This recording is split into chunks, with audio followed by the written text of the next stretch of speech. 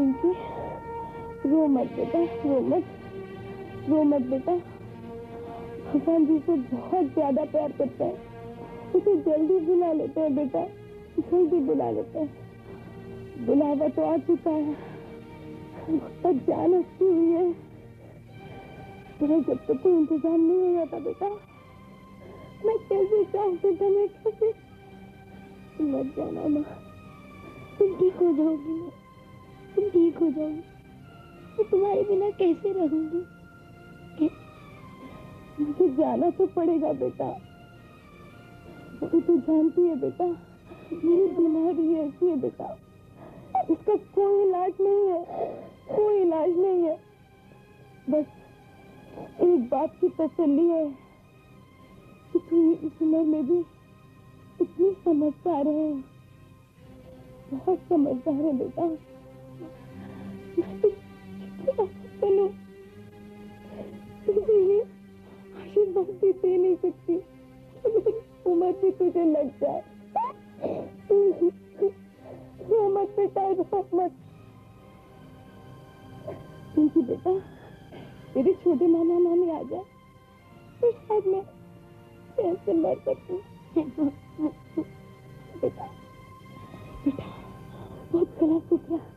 एक गिलास पानी पिला दो बेटा। हाँ वो गिलास पानी पिला दो।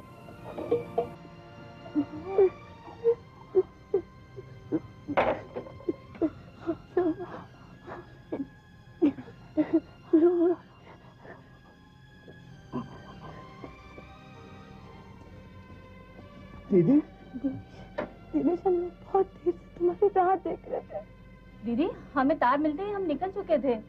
हवा फ़िक्र ना करे दीदी। अब हम लोग आ गए ना। निमो जरा पिंकी को लेके बाहर जाना। ठीक है। मुझे जरा दिनेश से बात करनी है। ठीक है। आ जाओ बेटा।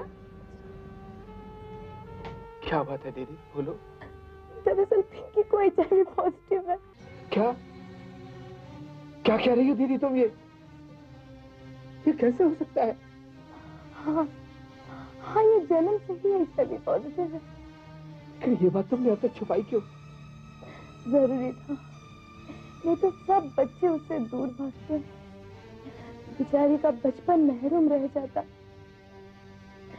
दिनेश मेरे भाई मेरे पास उसका ख्याल रखना मेरे भाई। आप फ़िक्र ना करें दीदी मैं इसकी पूरी देखभाल करूँगा। अपने बच्चों से भी बढ़कर इसे मानूँगा। मैं अब मैं मर सकती दीदी दीदी आँखें खोलो दीदी। दीदी आँखें खोलो। निमो निमो जल्दी डॉक्टर को बुलाओ। माँ माँ। सुनिए। माँ। सुनिए आप इधर आइए ना जरा। माँ। क्या है? आप क्या कर रहे हैं ऐसा? डॉक्टर को बुलाने से क्या फ़ायदा होगा अभी? वो भी एड्स की मरीज़ के लिए। सिवाय कि ढेर सारा पैसा जाएगा अपना। यहाँ से जाओ अभी। Because... Ma...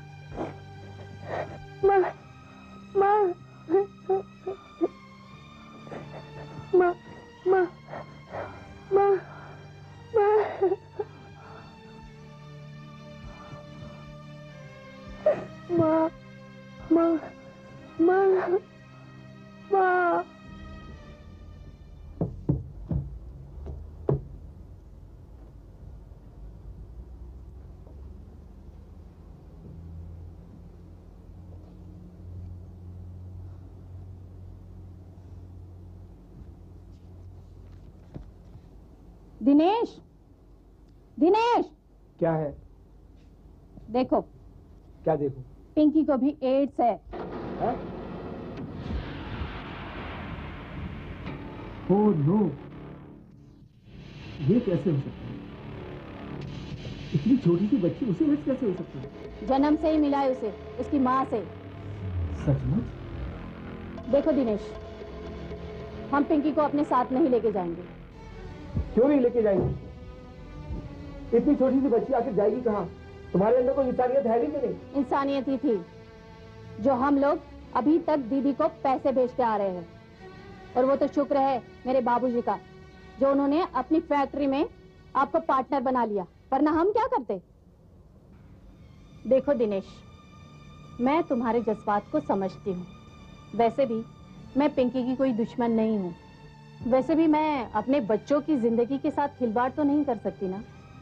और ये जो इंसानियत का सबक आप मुझे सिखा रहे हो ये आप अपने भाई साहब को सिखाइए जिन्होंने मौका पाते ही अपना पुश्तैनी मकान कब्जे में कर लिया। ये तो हमारी शराफत है कि हमने इस प्रॉपर्टी को लेकर कभी कोई झगड़ा नहीं किया कभी कोई दावा नहीं किया।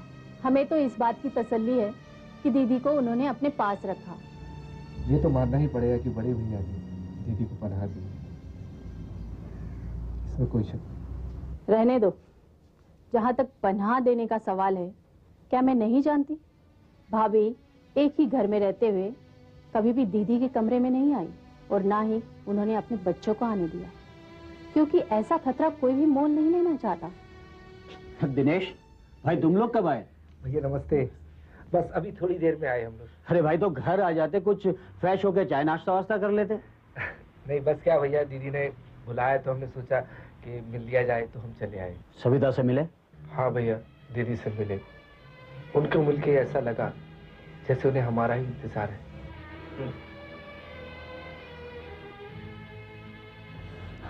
माँ माँ माँ।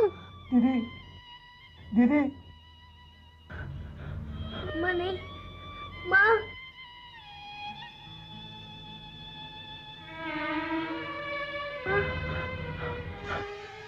दीदी सविता माँ माँ माँ माँ माँ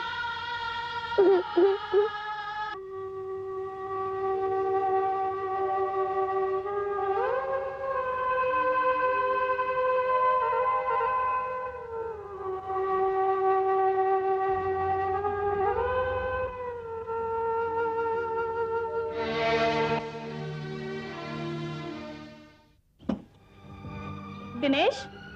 दिनेश दिनेश उठो दिनेश। क्या है? उठो। अब एक मिनट भी यहाँ पे नहीं रुकना है मुझे। क्यों? क्या हुआ तुम्हें? दिनेश मैंने बहुत बुरा सपना देखा है। हम सबको एड्स हो गया। अपने बच्चों को भी एड्स हो गया। मुझे अपने बच्चों को बस लेके चलो। नींबू ये क्या कह रही हो तुम? और ये भी कोई वक्त है जाने का? पिंकी अभी सो रही है। उसके कपड़े लगते नहीं पैक करने होंगे। देखिए पिंकी अपने साथ नहीं जाएगी। मैं अपने बच्चों को मुसीबत में नहीं डाल सकती। लेकिन हमने दीदी को वचन दिया है। तो तोड़ दो ये वचन अपने बच्चों के लिए। मैं मैं अपने घर में ये सब नहीं होने दूँगी। और वो अकेली नहीं है यहाँ पर। अविनाश भैया है उनके साथ। वो उसकी देखभाल करेंगे। हम सारी मुसीबत अपने सर क्यों ले क्या कह रही हो चलते वक्त तुमने नहीं कहा था कि पिंकी की सारी ज़िम्मेदारी मेरी है। मैं उसकी देखभाल करूँगी मैं उसको पालूँगी। और फिर अब क्या हो गया ये तुम्हें? देखिए मुझे पता नहीं था तब। कि पिंकी को एड्स है लेकिन तुम समझने की कोशिश करो। ये सब अच्छा लगता है क्या? हैं? तुम भी खुद कहती हो खुद ही खुद ही मुझसे ऐसा बोलती हो? क्या है ये सब? देखो अगर तुम्हें उसकी इतनी ही फ़िक्र है तो तुम यहीं पे रुको। यहीं पे रुको तुम और उसकी सेवा करो। लेकिन मैं और मेरे बच्चे हम लोग जा रहे हैं। और देखो तुम दोबारा कभी भी हम लोगों को मिल नहीं पाओगे। अब फैसला तुम्हारे हाथ में मैं जा रही हूँ। और तुम चल रहे हो या नहीं ये बता दो।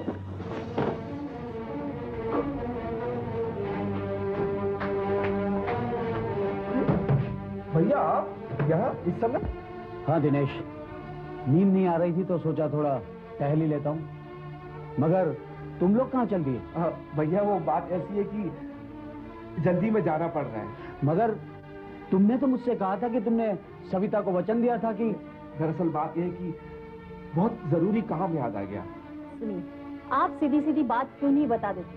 देखिए अविनाश भैया पिछले नौ साल से हम दीदी को पैसे भेजते आ रहे हैं और पिंकी को भी भेजेंगे लेकिन हम पिंकी को अपने साथ नहीं ले जा सकते। हमारे छोटे छोटे बच्चे हैं और हम हमारे बच्चों को खतरे में नहीं डाल सकते। खतरा? मैं कुछ समझा नहीं। क्या आपको पता है पिंकी को एड्स है? क्या? पिंकी को एड्स? सच कह रही हूँ मैं। पिंकी को एड्स है।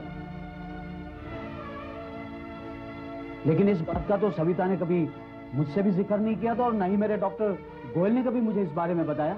हो सकता है भैया सविता दीदी ने खुद मना किया हो डॉक्टर को ये सब बताने के लिए। देखिए अविनाश भैया हम पिंकी को अपने साथ नहीं ले जा सकते। हमारे छोटे छोटे बच्चे हैं। क्या गवारों जैसी बात करते हो तुम लोग? तुम्हें तो पता है कि ये कोई छूट की बीमारी नहीं है। तो आप अपने पास क्यों नहीं रख लेते उसे? मैंने तुम्हें दिनेश लेटर में साफ़ साफ़ लिखा था। देखो तुम्हारी भाभी का सलूक पिंकी के साथ कुछ अच्छा नहीं है। या तो यूँ ही कह लो कि बुराई है। तो वो यहाँ पर बहुत अकेली सी हो जाती है।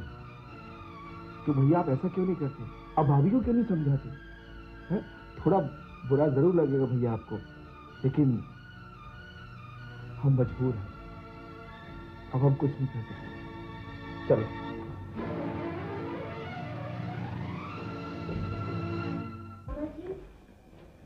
ये एड्स क्या होता है?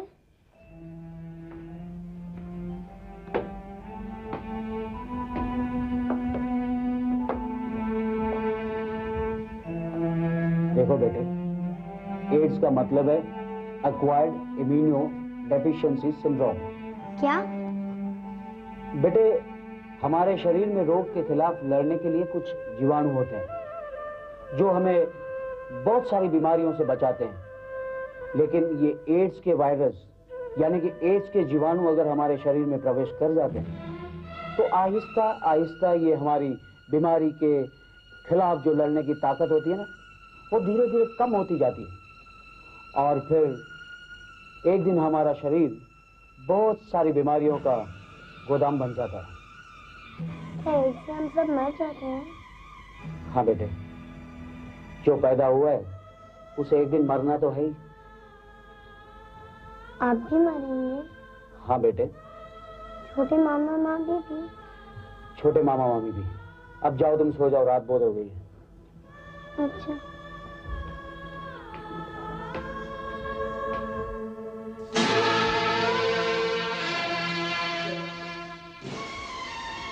तो दिनेश और निमो तड़के ही भाग खड़े हुए। दिनेश को कुछ काम याद आ गया था जिसकी वजह से उसको जाना पड़ा। कोई काम वाम याद नहीं आया था। उसे पता चल गया था कि इसे एड्स है तभी तो पल्ला झटक के भाग निकले दोनों। और ये राज है ना जो वो अपने दिल ले जाना चाहता था। भला हो निम्मो का जो जाते जाते मुझे सब बात बता गई। मेरी बात सुनो। सविता की बात और थी वो तो घर के किसी कोने में बैठी रहती थी। पर ये लड़की ये तो बच्ची है। ये भाग दौड़ करेगी खेलेगी कूदेगी और मेरा पप्पू उसे मैं लाख समझाऊं पर वो नहीं मानेगा मेरा कहना वो इस लड़की के साथ जाकर खेलेगा। मेरी मानो तो तुम इसे जाकर कहीं छोड़ो। मैं कहाँ छोड़ा हूँ इतनी नन्ही सी बच्ची को मैं किसके भरोसे छोड़ा हूँ तुम कुछ भी करो मैं अपना जान जोखम में नहीं डाल सकती ना खुद का ना अपने बेटे का। तुम गवारों जैसी बात मत करो। तुम जानती हो कि ये छूत की बीमारी नहीं है। और अगर तुम्हें यकीन नहीं आता तो मैं तुम्हारी कल डॉक्टर गोयल से बात करवा दूँगा समझे?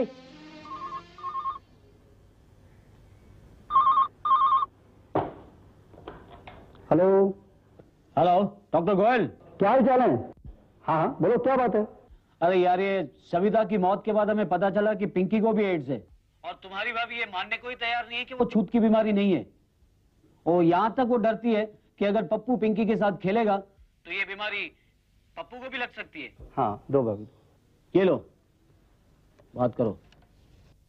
हेलो। नमस्ते भाई साहब। अच्छा नमस्ते भाभी। कैसी हैं आप? मैं तो अच्छी हूँ। आप इतने दिनों से भाभी को लेकर घर क्यों नहीं आए? अरे क्या बताएँ भाभी जी। हॉस्पिटल पेशेंट्स बस इसी में मसरूफ रहता हूँ। वक्त ही नहीं मिल पाता। हाँ अच्छा ये अविनाश कह रहे थे कि ये बात बिल्कुल सही है भाभी जी। ये छुआछूत का रोग नहीं है। ये ना तो किसी के हाथ मिलाने से या किसी एड्स पेशेंट्स के कपड़े पहनने से। यहाँ तक कि उसके साथ खाना खाने पीने से भी ये बीमारी होने का कोई खतरा नहीं है।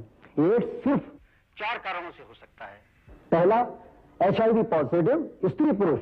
अगर किसी व्यक्ति के साथ सेक्स संबंध स्थापित करते हैं तब। या फिर एचआईवी पॉजिटिव ब्लड किसी पेशेंट को चढ़ा दिया जाए। उस सूरत में हो सकता है। और तीसरा कारण। कि अगर किसी एच पॉजिटिव पेशेंट को कोई सिरिंज लगाई गई और वही सिरिंज किसी दूसरे व्यक्ति को लगा दी जाए तो वहाँ पर एड्स का खतरा हो सकता है।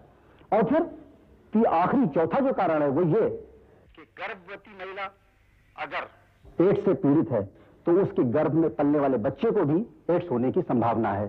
तो बस यही चार कारण हैं कि जिसकी वजह से एड्स हो सकता है। बाकी सब कही सुनी बातें हैं। आप फ़िक्र मत कीजिए मैं किसी दिन आऊँगा तो मैं आपको डिटेल में ये सब बातें बताता हूँ। अच्छा लीजिए इनसे बात कीजिए। हेलो डॉक्टर गोयल हाँ भाई अविनाश। यार मैंने पूरी कोशिश की है मैं समझा दिया है मैंने भाभी जी को। फिर भी मैं किसी दिन आता हूँ फुर्सत में वहाँ बातचीत करेंगे। थैंक यू वेरी मच मैं बाद में बात करता हूँ। बाय लो हो गई ना तसल्ली? हम्म, अजी डॉक्टर का काम क्या है? चिकनी चुपड़ी बातें करना। वैसे भी इस लड़की का खर्चा उठाएगा कौन? खुद तुम्हारा काम धंधा तो ठीक चलता नहीं है और ये बला लेके सर पे बैठ गए हो तुम। अरे भाई दिनेश ने कहा तो था कि वो हर महीने दो हज़ार रूपया भेज दिया करेगा। ठीक है पर उसे कह देना कि ऊपर के कमरे में रहे और पप्पू के कमरे में ना पैर रखे ना उसे खेले। हम्म, नई मुसीबत लेके सर पे आ जाते हैं।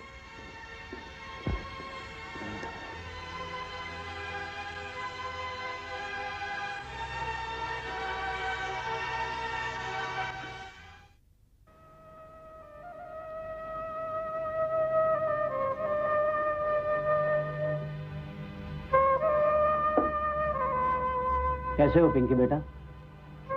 मामा अब मेरा मन यहाँ नहीं लगता। अब मुझे कहीं छोड़ा ही क्यों? क्या हुआ? फिर तुम्हारी मामी ने कुछ कहा तुमसे? यही मामा यही मामी ने कुछ नहीं कहा। बस मेरा मन अब यहाँ नहीं लगता। पिंकी बेटा तुम्हारी मामी इतनी बुरी नहीं है। दरअसल उसे इस बीमारी के बारे में जानकारी नहीं है। इसलिए वो ऐसी बातें करती है। अच्छा मैं चलता हूँ। किसी भी चीज़ की ज़रूरत हो तो अपनी मामी को आवाज़ दे देना। ठीक है?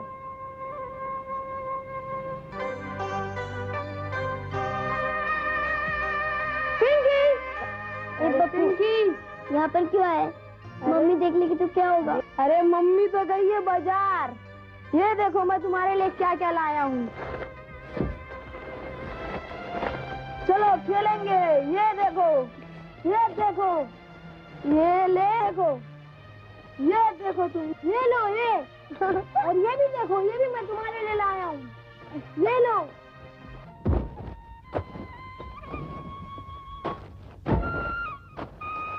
और ये देखो ये गुड़िया गुड़िया। और ये देखो पप्पू तुझे कितनी बार मना किया है? कि इस कमरे में मत आना उसके साथ मत खेलना। तुझे समझ नहीं आता है? नहीं माँ मुझे खेलने दो माँ उसके साथ अगर दोबारा ना इस कमरे में पैर रखा तो ये ताने करके तेरे हाथ में दे दूँगी।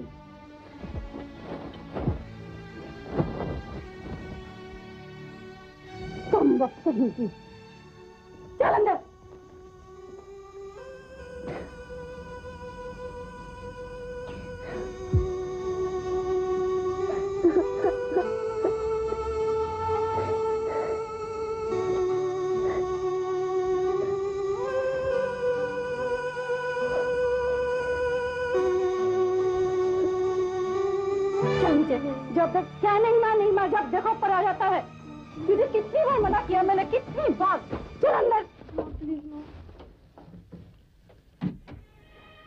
सच सच बताना आज पिंकी के साथ क्या हुआ था? पापा आज जब मैं पिंकी के साथ पिंकी के कमरे में खेलने गया तो माँ बाज़ार से आ चुकी थी। और माँ ने मुझे पिंकी के साथ खेलते हुए देख लिया। ये देखकर उन्होंने मुझे बहुत बुरा भला कहा और पिंकी को भी बहुत बुरा भला कहा पापा। यह सुनकर मुझे अच्छा नहीं लगा पापा और माँ ने दोपहर से उसे खाने को भी नहीं दिया। जाओ बेटे तुम खेलो। सीमा! सीमा! क्या है? क्यों शोर मचा रखा है? आज फिर तुमने पिंकी को भला बुरा कहा और उसे खाना तक नहीं दिया? शुक्र करो कि उसे घर से बाहर धक्के मार के निकाल नहीं दिए। अरे कितनी बार उसे कहा है कि पप्पू के साथ ना खेले। पप्पू ऊपर गया था ना? और पिंकी तो नादान है बेचारी। बेचारी। देखो पिंकी को लेकर अगर इस घर में झगड़ा किया ना तो तुम उसे लेकर रहना। मैं अपने मायके चली जाऊँगी समझे? हम्म, जब देखो कुछ ना कुछ लगा रहता है।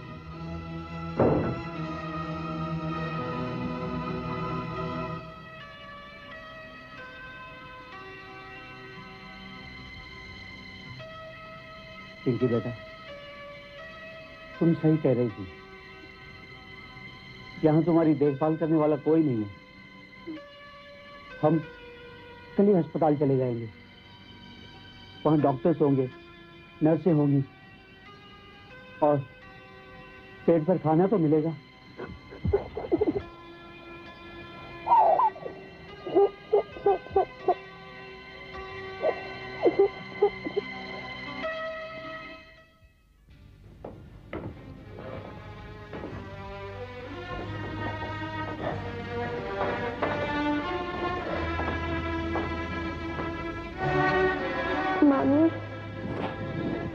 मैं जा रही हूँ। भैया जान।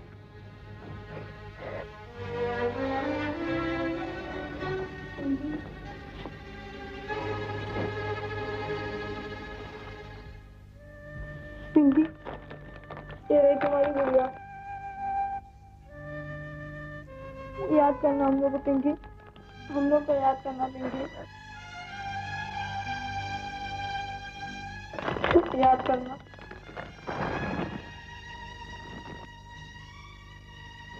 याद करना हम लोग को।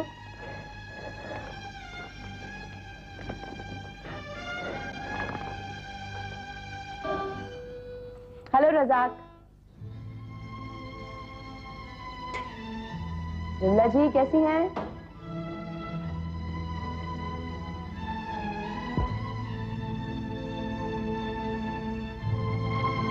विनीत तबीयत कैसी है? ये क्या हो गया आप सबको? बस मैडम बस। अब बर्दाश्त नहीं होता है।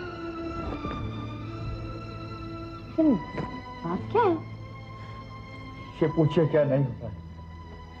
आज फिर वही सुबह दूध केला ब्रेड बटर रोज एक से नाश्ता करके मैं तंग आ गया हूँ। अरे शुक्र करो खुदा का कि दो वक्त की रोटी तो मिल जाती है। वरना लाखों करोड़ों लोग ऐसे हैं जिन्हें ये नसीब भी नहीं होता। नहीं नहीं रजाक विनीत की बात सही है। रोज अगर एक ही जैसा नाश्ता मिलेगा तो लाइफ कितनी बोरिंग हो जाएगी है ना? सिस्टर हमारे इंजीनियर बाबू इतने सीधे हैं कि इनसे किसी की शिकायत करते नहीं बनती। दरअसल आज सुबह जो आदमी नाश्ता लेकर आया था वो काफ़ी बदतमीजी से पेश आया इनसे। रजाक विनीत बाबू ने जब उससे शिकायत की तो कहने लगा कि खाना है तो खाओ वरना भाड़ में जाओ। और नाश्ते की प्लेट इनके सामने पटक कर चला गया। ये तो बहुत गलत बात है। कोई बात नहीं आप लोग फ़िक्र मत कीजिए मैं डॉक्टर साहब से ज़रूर बात करूँगी। और सिस्टर जब मैंने उससे कहा कि कल मेरा व्रत है मुझे खाने के लिए फल चाहिए तो पता उसने क्या कहा? घर में कभी फल खाए हैं? इनको फल चाहिए। ये अस्पताल है जो मिलता है वो खाओ और सो जाओ। यहाँ नखरे वखरे नहीं चलेंगे। और जाते जाते बड़बड़ाते हुए पता है क्या बोला? इनके बाप का होटल है जो इनके ऑर्डर ले लूँ। और जब मैंने कहा कि तमीज से बात करो तो उसने तो बोलना उसने क्या कहा मुझसे? कहने लगा तुम लोग तो तमीज की बात मत करो। अगर तमीज होती तो वहाँ जाते जहाँ एड्स लगता है। अब आप बताइए ये कोई बात हुई? मुझे एड्स मिला था एक हॉस्पिटल से। अपने किडनी का ऑपरेशन कराने गया था मैं। बस ब्लड ट्रांसफ्यूजन में एच दे दिया। हालाँकि अपनी बीवी के अलावा आज तक किसी और का ख्याल मेरे मन में नहीं आया है। बहुत शरीफ आदमी हूँ मैं। और एक शरीफ आदमी पर इतना बड़ा इल्ज़ाम लगाना? सिर्फ़ तुम ही क्यों? हम सब पर। अब ये विमला आंटी को देखो। मैं तेरी आंटी नहीं हूँ। अच्छा अच्छा विमला मौसी। अब विमला मौसी का क्या कसूर? वो तो बेचारी कभी घर से बाहर भी नहीं निकली। और मैं? मुझे इस वजह से एड्स नहीं लगा। बल्कि कुछ गलत दोस्तों के चक्कर में पड़ गया था। ड्रग्स लेने की आदत पड़ गई थी मुझे। हम सब दोस्त लोग मिलके एक ही इंजेक्शन बल्कि एक ही नीडल से ड्रग्स लिया करते थे। अगर उस वक्त सावधानी बरतते तो आज ये दिन देखना ना पड़ता। मैं आप लोगों की कहानी अच्छी तरह से जानती हूँ। आप लोग चिंता मत कीजिए। जिस किसी ने भी आप लोगों के साथ इस तरह बर्ताव किया है उससे बात की जाएगी ताकि दोबारा आपके साथ ऐसा ना हो। ठीक है? Thank you very much madam मुझे एक और शिकायत है। क्या? देखिए जब भी मैं किताब पढ़ने बैठता हूँ ना तो ये मैडम ये भजन गाना शुरू कर देती है। और ये अपना माउथ ऑर्गन बजाना। प्लीज़ समझा दीजिए इन्हें। किसी दिन गुस्सा आए ना तो इसका माउथ ऑर्गन उठा के पटक दूँगा ए, मैं हाथ नहीं लगाने अपने माउथ और क्या? अपना इसके साथ बचपन से रिश्ता हाँ, बोल देता अच्छा पहले। भाई आप लोगों की आपस की लड़ाई है आपस में ही सुलझा लीजिए। घर का मामला है बाहर नहीं खबर लगनी चाहिए बेकार में इंप्रेशन खराब होता है। अच्छा मैं डॉक्टर के पास जा रही हूँ आप लोग अपने अपने बेड पे चलिए। चलिए। अच्छा Vineet take care thank you very much